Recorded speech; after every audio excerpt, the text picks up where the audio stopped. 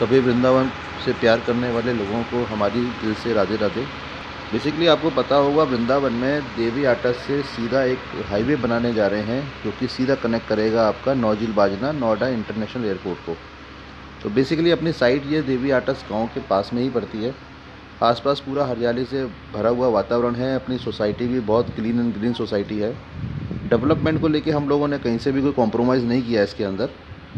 काफ़ी सारे प्लॉट्स हमारे इसके अंदर बिक चुके हैं। सारी सुविधाएँ ऑलमोस्ट हम कंप्लीट कर चुके हैं। देखिए, देवी आर्टस का आने वाले समय में जो डिमांडिंग रेट है, वो और ज़्यादा बढ़ने वाला है।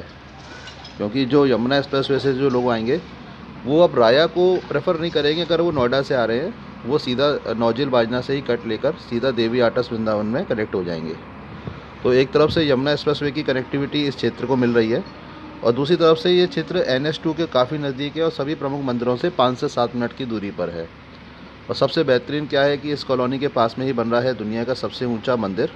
और इस कॉलोनी से मात्र 700 से 800 मीटर दूरी पे, यानी कि इसके पीछे, बन रहा है एशिया का सबसे लार्जेस्ट पार्क सौबरी वन जिसके बोर्ड भी लगना शुरू हो गए हैं। काफ़ी ज़मीनें एक्वायर हो चुकी हैं। तो एक बार आइए विज़िट करिए। बहुत ही इकोनॉमिकल रेट पे प्लॉट हैं। राधे राधे